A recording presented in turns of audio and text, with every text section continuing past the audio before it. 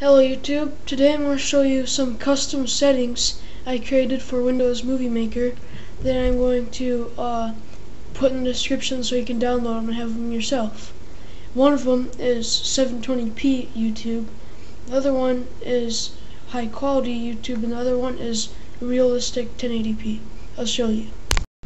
To get started, go to ellsworthtutorials.com and scroll down and select click here for the custom settings in Windows Movie Maker. Then select save file and OK. Now right click it and click on open containing folder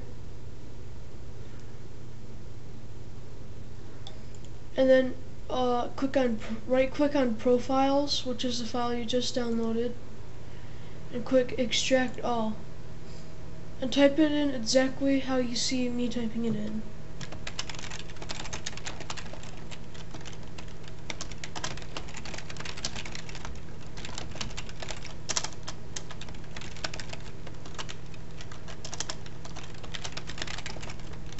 I'll put this in, put this in the description. It says C colon backslash program space files backslash movie maker backslash shared backslash profiles. Select extract.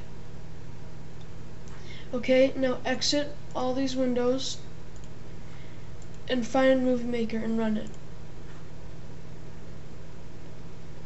Now just put a little test clip or you yeah, just put a little test clip in the timeline and press publish movie. And then click this computer. Next more settings and you'll see real 1080p HD YouTube and high quality YouTube. Now select 1080p if you want real 1080p I'll show you the difference.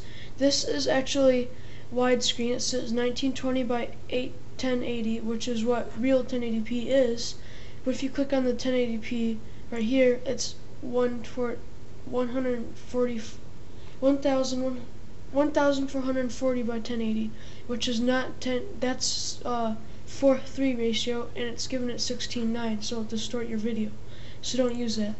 Use this one right here if you want 1080p. Then this one if you publish yours your all your files with this, it'll make your video have a HD icon on it and this one will do the same thing, just for HQ uh, icon.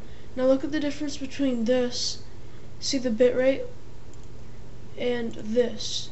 The bitrate is, is almost double on this one, which will give you a lot better quality uh, on your video. So, oops, I meant this one right here.